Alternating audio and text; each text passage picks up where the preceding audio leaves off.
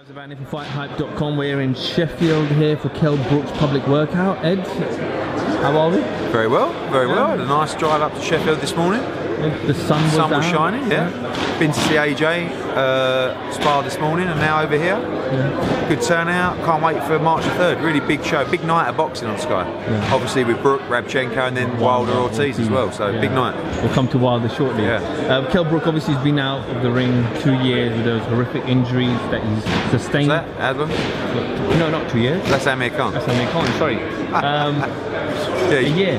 No, no, Uh, 10 months. Ten months. Nine, nine months. Yeah, yeah, yeah, yeah, yeah, yeah. Keep going. You get there. Yeah, yeah. Um, he's been out obviously Yeah. through that injury. He's back against Rabchenko, who is not a walkover. No, it's a tough fight, and at this stage, I'm starting to think maybe we should have just taken a slightly easier touch. But I think Kell wants to go out and make a statement. I think he wants to show.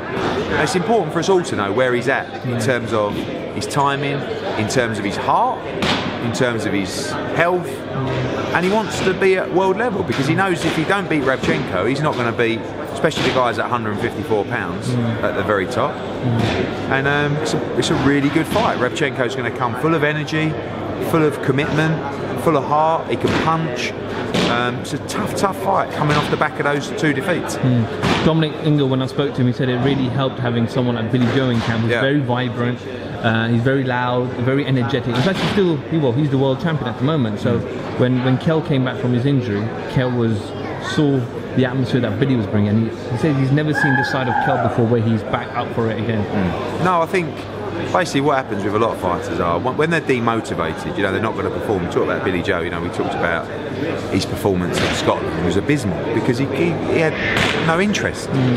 And it's like any job that you do, if you don't enjoy it, if you don't love it, you're not going to perform. Mm. I think now when you're in a great gym and you, you've got the, the right people around you, it's fun to train there. Everyone's trying to achieve the same thing. So mm. Kell Brook has definitely got the bit between his teeth. The Spence defeat hit him hard because it was his world title and it was in his backyard and he got criticism. Hmm. And I think that really affected him. And there were times where I wasn't sure whether he would fight again. Hmm. Um, but it's taken him the time to realise boxing's what he wants boxing's what he loves and he has a God-given talent hmm. in this sport. And I don't believe we've seen the best of Kell Brook I think there's so much more to come. And it's been a frustrating journey you know, injuries and you know, a little bit of lack of desire sometimes outside of the ring have made it a stop-start career and, and, and not really given him the fluidity that he should have had. Mm. But his head screwed on now. He wants it more than ever, and it's not too late. I believe he can go on and rule at 154 pounds. Obviously, that fight, and we're going to talk about it again, is the Amir Khan fight.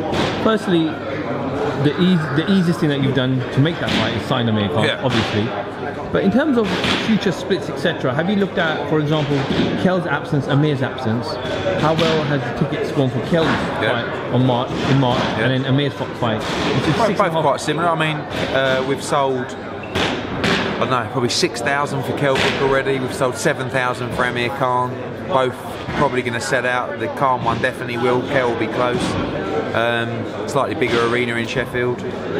Uh, response has been great on either side. Kell's a former world champion, Amir's a former world champion, both coming off defeats. Amir's probably got the bigger profile than Kell Brook. Um, Kell's probably in a slightly tougher fight than Amir Khan, but both tough fights coming off, you know, injuries and, and defeats. So I don't know. I mean, it's not. We didn't sign Amir Khan to make the Kell Brook fight. What we knew was that is a fight that should happen in 2018, and under the same umbrella, should be a lot easier to make. So, but my remit for Amir Khan is a couple of fights and then make the biggest fight possible. Same with Kell Brook. Both guys want to be really active. Kell particularly, you know, I'm looking for him. Hopefully, he can get a great performance against um, Rabchenko and then get straight back in the gym and get out again before the summer. Because when Kell Brook is active and when he's enjoying himself, that's when he's that's when he's well, in great form. It's when he goes off and has a couple of months off and enjoys himself and eats too much. All the work's got to be done again. But I, you know, he still talks about making 147 pounds. Hmm. Trust me, I saw what he had to do to make 147 against Errol Spence, and I believe he's going to carry a lot more power at 154. Hmm. So ideally, obviously, Amir Khan being a three-fight deal, and the option to obviously go further. the Brook fight potentially to be Khan's three. third, number three. Yeah, I mean, think that be held though? In the, anywhere in the UK. But I mean, in terms of that would be probably towards the end of the year. yeah, it'd be probably December time, but you know, obviously it's bigger than a Manchester Arena or O2, but you know, Is it a Cardiff again? yeah, maybe. But if we got the fight made, you know. Let's just get it made first. We'll worry about the venues later. But there's big fights for Amir. There's big fights for Kell. You know, I quite like the Broner fight for Amir Khan as well. I think that's a good fight. Um, and for Kell, there's World Championship fights at 154 pounds. They're not high-profile fights in terms of the champions, but Kell wants to be a two-weight world champion, and you know, to do that, obviously, you have to go through a champ. Oh, he's look, Dom's on.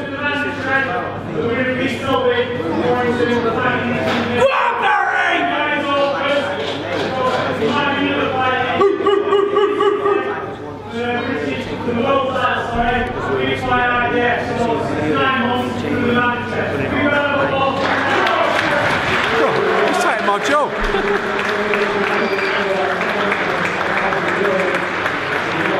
Yeah, so we'll see. But the key for both those guys is Kell get the win on March the 3rd, and then um, Amir get the win on April 21.